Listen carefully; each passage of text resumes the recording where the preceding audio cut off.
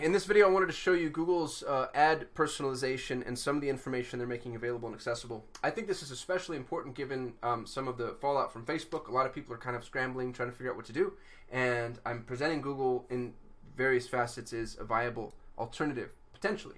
Um, and for Facebook users, you're used to segmenting according to interest, and Google has that ability. It's a little bit harder. It's not necessarily built for that right out of the gate, but I think that you can crowbar your way into it um, if you're willing to be patient and creative. But I wanted to show you. Um, it's not an exhaustive list. It's actually based off of my own personalization. So this is going to get a little embarrassing and weird. I wanted to show you the way that Google um, is cataloging certain interests and how they're making it available to us, and more interestingly to me, how it is they've identified some of those interests. So we're going to dive in here. Hopefully this doesn't bore you to death. You can go and see this information um, on your own behalf, by the way. So if you go to this link, which I'll include in uh, description of this video, um, it will show you your ad personalization and, and how your ads are personalized. So here we have, you know, 25 years old, male, SEMrush, language English. This is all spot on.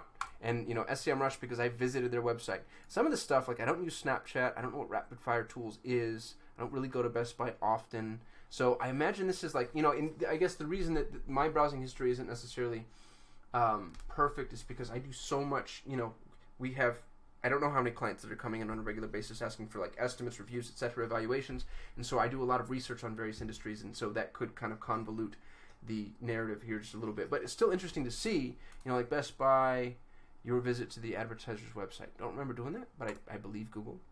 Uh, the one that I thought was really funny and uh, threw me a little bit for a loop was ah Bollywood and South Asian film. Now, y'all, I don't watch Bollywood movies. Uh, there's nothing wrong with them. I, I you know I could even name a Bollywood actor or two, but it's not something that I pursue. It's not something that I would have, at least not that I can think of. Like it wouldn't have come up in like you know a, a client and or competitive search. So part of me wonders.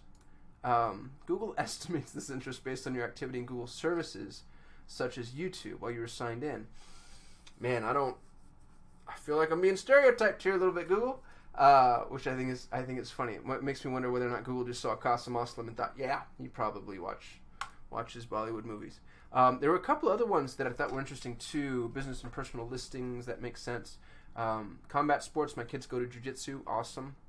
Some of this stuff feels a little bit extraneous.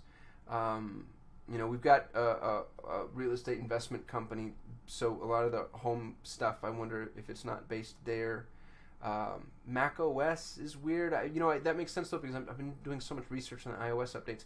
MLM business opportunities, probably not. Um, how did they figure that out? Where did that even come from? Google services. Okay. Uh, mortgages. So a lot of you know I travel so much, and it's interesting how well Google catalogs that. You know, we do conferences in various places because we're we're speaking, and so you know like that's a mastermind. Um, that's a, a, an event. That's the affiliate summit. Um, forgot where we're going to Portland. Um, San Diego's uh, traffic and conversion. So it, it's cool. Again, if you are targeting people based off of potential geographic interests, I think that Google does a really good job. You know, like I uh, for Northern Florida, that was a very quick one day of research for a trip that I actually am not taking, and so it's interesting that that's even cataloged. Yeah, um, but good for them you know, some of this stuff again is kind of nebulous, sort of extraneous, uh, but some of it is also really, I think, really cool. Um, this was one women's interest. I thought that was funny. Uh, vacation offers watches. That one's weird to me. I wonder if that's on behalf of a client. But there was one. They had my socioeconomic status, which I thought was interesting, maybe a little intrusive, but good for us to know. Household income high. Uh, Google estimates this demographic because your signed in activity on Google services is similar to people who told Google they're in this category. So, I don't know. I think they're withholding information there just a little bit um, as to how they're landing. But I do really like this visual. And I like, especially if you're coming from Facebook ads, ad categories, alcohol and gambling Okay, so they're not personalized, but you may see them, and I don't have an issue with either of those things.